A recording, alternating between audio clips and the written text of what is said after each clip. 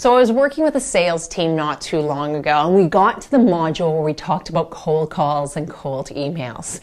And the first question I typically ask, because we need to know where we have to achieve from, is why aren't we making those calls?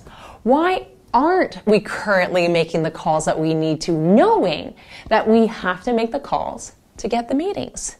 And the same answers always come across. It doesn't matter if you are a seasoned salesperson or you are a brand new entrepreneur starting the game. At the end of the day, the conversation sticks. What if I'm rejected?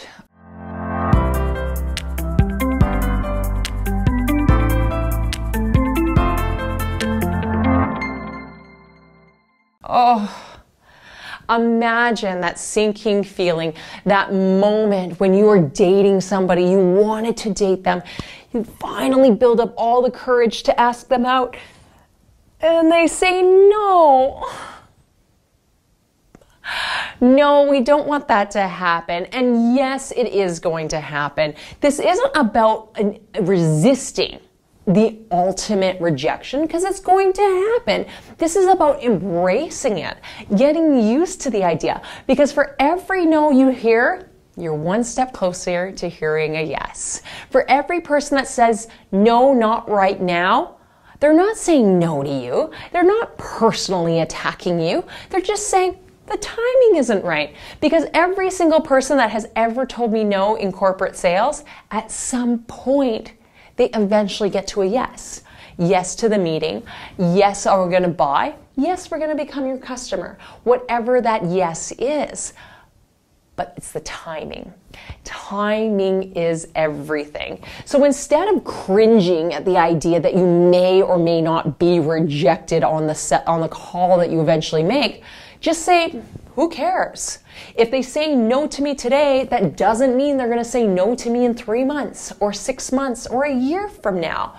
Ultimately, what you want to do is your very first step, if you can't get the meeting, is to get the relationship. Because if you have the relationship, the second, the third, the fifth time you call, which is where 80% of the sales actually happen after the fifth call, now you're that much closer.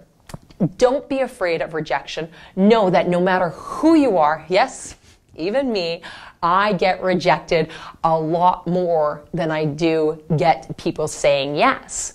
But that's because I go out there more. Babe Ruth was the number one person for strikes. Wayne Gretzky was the number one person for shots missed against net. If you want greatness, you have to embrace what will come with it which is failing. And I believe in you. So go and go fail up. The more you fail, the more you succeed. Embrace that. Do that countdown. Be like, yes, I failed again. I got rejected. Yes because I believe in you.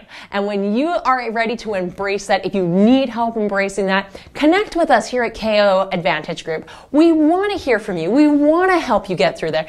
And we have a great team, of some pretty inspiring people that are excited to hear more about your business.